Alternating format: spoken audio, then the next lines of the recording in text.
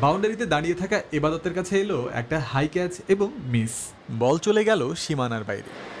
যাওয়া যাক তাসকিনের কাছে। তার কাছে উড়ে এলো একটা লো ক্যাচ এটাও মিস এই ক্যাচটা ধরার জন্য তাসকিনের যথেষ্ট চেষ্টা ছিল।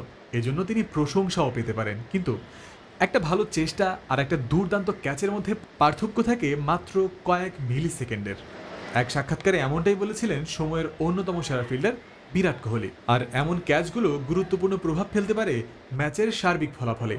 অতীতে ক্যাচ মিসের কারণে বেশ ভুগতেও হয়েছে বাংলাদেশকে।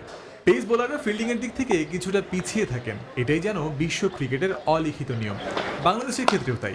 দলের অন্যদের সাথে তুলনা করলে ফিল্ডিংয়ের দিক থেকে কিছুটা হয়তো পিছিয়ে থাকবেন তাসকিন আহমেদ, এবাদত হোসেনরা। তবে সম্প্রতি ফিল্ডার হিসেবে তাসকিনের উন্নতি চোখে পড়ার মতো। তিনি যে ফিল্ডিং নিয়ে যথেষ্ট কাজ করেছেন, সেটা অনুমান করাই যায়। বাংলাদেশের ফিল্ডিং কোচ সেইন ম্যাকডরমট পেসারদের ফিল্ডিং প্র্যাকটিসের দিকে বিশেষ গুরুত্বই দিচ্ছেন। একদিন পরেই শুরু হতে যাচ্ছে টেস্ট সিরিজ পাঁচ দিনের খেলায় সারাদিন মাঠে থেকে বোলিং করা, তারপর আবার ফিল্ডিং করার সময় মনোযোগে ব্যাঘাত ঘটতেই পারে। আর তখনই হতে পারে ভুল।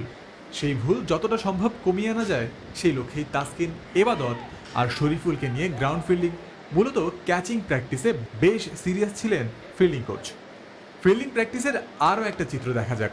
স্লিপ কর্ডনে ইয়াসির আলী রাব্বিকে নিয়ে নিবিড়ভাবে ক্যাচিং প্র্যাকটিস করাচ্ছেন ম্যাকডরমট।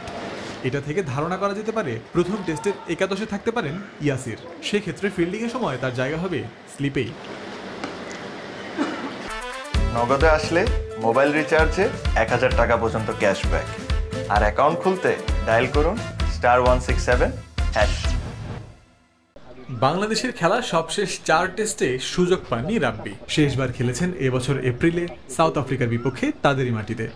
যেখানে সর্বশেষ ইনিংসে শূন্য রানেই আউট হয়েছিলেন তিনি। পারফরমেন্স কিংবা কম্বিনেশন যে কারণেই হোক, ভারতের বিপক্ষে এই সিরিজেও একাদশের সুযোগ পাওয়া সহজ হবে না তার জন্য। প্রায় তিন চার বছর যাবৎ জাতীয় দলের সাথে রয়েছেন রাব্বি। এর মধ্যে অল্প বিস্তর যা সুযোগ পেয়েছেন, সেগুলো ঠিকঠাক কাজে লাগাতে না পারার আক্ষেপ থাকার কথা তার মধ্যে। ওয়ানডে সিরিজের শেষ ম্যাচে ভারতের বিপক্ষে সুযোগ পেয়েছিলেন, সেখানেও খুব একটা সুবিধা করতে পারেননি। আর টেস্ট ক্রিকেটে সব মিলিয়ে খেলেছেন পাঁচ ম্যাচের নয়টি ইনিংস। যেখানে তার ব্যাটিং গড় সাড়ে চব্বিশ, হাফ সেঞ্চুরি করেছেন একবার।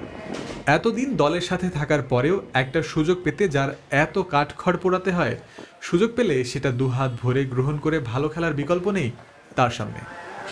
জয়ন্ত বিন্দু, ক্রিক ফ্রেন্সি।